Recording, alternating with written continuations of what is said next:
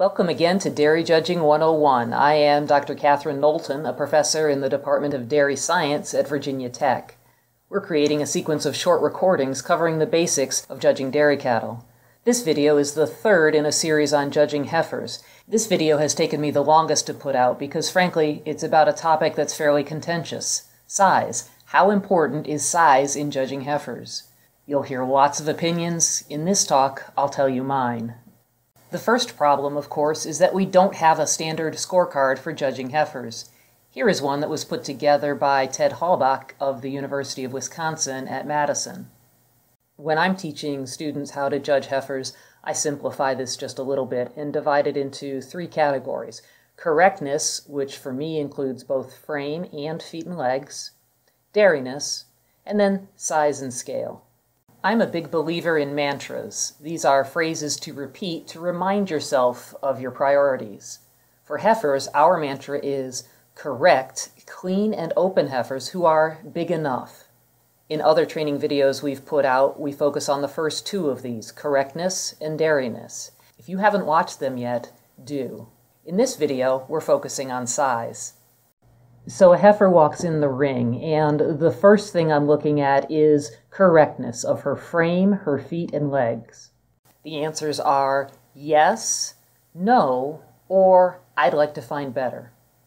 Then I'm looking at dairiness. Is she clean enough and open enough for her age?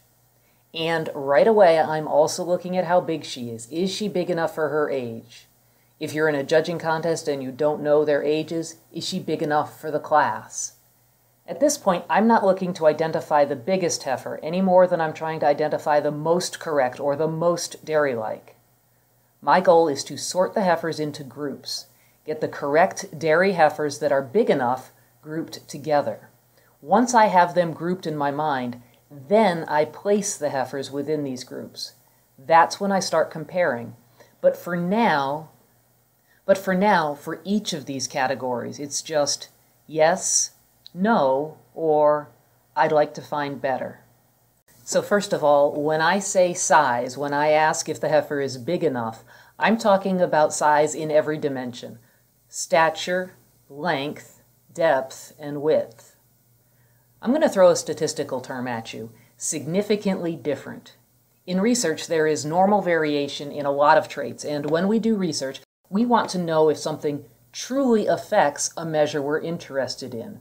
So, does adding protein to the diet increase milk yield, for instance? Well, every cow varies in her milk yield from day to day.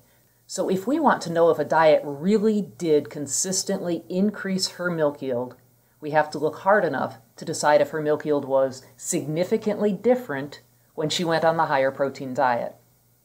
In judging, do the same thing and learn what difference in size is meaningful, what difference in size is significantly different, and what is just a little bit. Is the difference in size worth 50 cents or just a nickel? Are they significantly different in size?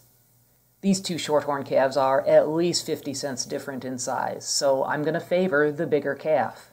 I have a few examples to show you. And these photos are from different shows. Sometimes the heifers are lined up right to left and sometimes left to right. I'll put this blue ribbon next to the first place heifer in each series of photos to let you know. Let's take a look at these Jersey calves. You can see that the first heifer is taller than the second heifer, but they're close enough that if you think the second heifer is a nickel better in her correctness or her legs or her dairiness, she is certainly enough in range that you could win with her. On the other hand, if you look at the Holsteins, the calf on the left is just too small. She looks a whole class younger than the other two. In the show ring, it's hard to do much with a calf like that. There's some variation in size here at the top of a good class at Madison. This kind of variation at the top of the class is something that you wouldn't have seen 10 years ago.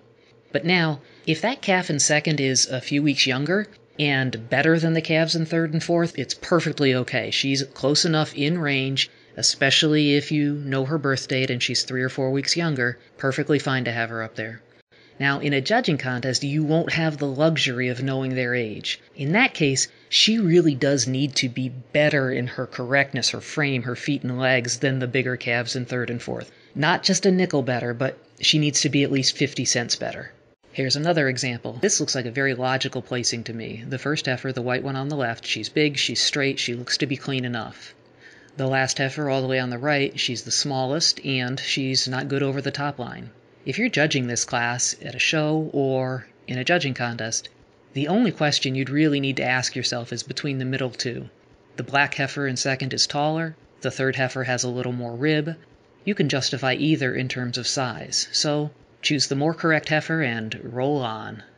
Here's another example a county fair with the first place heifer on the left. You can see that the third and fourth place heifers are smaller than the one in last, than the heifer all the way on the right there in fifth place. That fifth place heifer is pretty big, but notice she's also smooth, and at least from this angle, she's not great in the leg. In this case, go for it. Beat her with those two smaller, cleaner, better heifers, whether it's the show or a judging contest.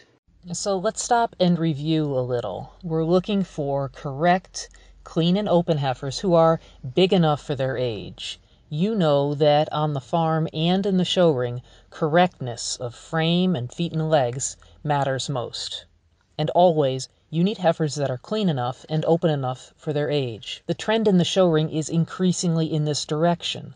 Size alone is no longer enough to win. Today you can definitely start with a heifer who isn't the biggest in the class. But here's the other half of that sentence. There is such a thing as too small. We call this the peanut rule. If you're judging a show or a contest, be careful not to fall in love with the peanut. So what's a peanut? A peanut is a calf or a heifer who looks like she's a whole class younger than the others. She looks like she doesn't belong. She is significantly different in size than the others. 50 cents smaller, a dollar smaller. The peanut rule is a calf this small starts toward the bottom, and she has to fight her way off. It's not enough for her to be the most correct heifer in the class. There has to be something really wrong with the bigger heifers for a peanut to work her way up. Part of me hates this. I showed good jerseys growing up, but we were just not very good at raising calves. Almost always I was showing the peanut. Also, most farmers will tell you that smallish heifers often have a late growth spurt, and they often turn into good cows. But in the show ring, size still matters. You can start with heifers that aren't the biggest in the class. But if they look a whole class younger, remember the peanut rule. Some examples. The red heifer on the right is a nice heifer. She's clean and she's reasonably straight. But she looks a full class younger than the heifers that are winning. She's shorter than they are, with less rib, and the other heifers are correct dairy heifers. They win. I'm going to take this further and make a statement I'm a little uncomfortable with in terms of the industry as a whole. And please remember, not everyone's going to agree with me. We know that as long as a cow has been fed and grown to her genetic potential and size, there's very little correlation between size and milk yield, longevity, or profit. So, in judging cows, milking cows, size is very low on the list of priorities. But if we're going to judge heifers, and there are good reasons to do so, this is a truth you probably need to accept. If the biggest heifers aren't in the top half of the class, there needs to be something wrong with them. Keep in mind, with heifers, we don't have an udder to evaluate. We still put correctness and dairiness ahead of size and priority. But if you're judging in contests or at shows, this is the reality. If those biggest heifers aren't in the top half of the class, there needs to be something wrong with them. So when I say that the biggest heifer in the class needs to have real problems to leave her out of the top pair, what do I mean exactly? I found a few here that I would have no problem beating with a really good peanut. These heifers on this slide are coarse, fat, bad legged, bad topped, or some combination thereof. So it's these kind of heifers that I'm talking about that you can beat with a really good peanut. Here's another example. In this class, notice that the winning heifer is not the biggest in the class. The heifer in last is bigger by all measures. She's taller, she's deeper, she's wider, but she's coarse and smooth. And though it's not obvious here, she's less correct. You don't have to win with the biggest heifer in the class. She does need to be big enough. I hope this is helping you rather than confusing you. Again, let's just review. When I say big enough, I'm talking about size in every dimension, tall, long, deep, and wide. The question I ask is are they significantly different in size? If they are, now you've got to start thinking about the peanut rule. If you've got two heifers and the better heifer is just a nickel smaller, go for it, win with her. But if she's 50 cents smaller, if she's a dollar smaller, if she looks a whole class different, just be careful. You know I'm a big believer in mantras, so I'm going to pull back big picture. When we're judging heifers, we're looking for correct clean and open heifers who are big enough. All together now, correct, clean and open heifers who are big enough. Correct, clean and open heifers who are big enough. Correct, clean and open heifers who are big enough. Correct, clean and open heifers who are big enough. I hope this presentation has been useful to you and that you'll go to our YouTube channel now and watch some of the others that we're posting. I should stop and do some thank yous. First, I need to thank Catherine Wright, Carol O'Hujan, Chelsea Abbott, and Hannah Van Dyke for current or recent Virginia Tech students who are helping me with this series.